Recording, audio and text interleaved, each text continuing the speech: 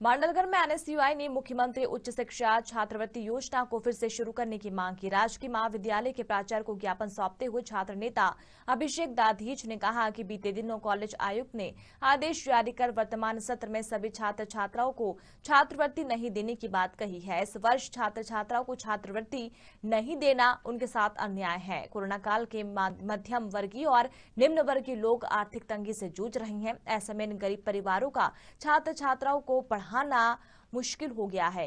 गरीब छात्र छात्रवृत्ति से अपने प्रवेश शुल्क और परीक्षा शुल्क जमा करते हैं। अगर छात्रों को छात्रवृत्ति नहीं मिली तो उनकी पढ़ाई रुक जाएगी। अगर कॉलेज प्रशासन हमारी मांग को नहीं माँगता है तो उग्र आंदोलन किया जाएगा।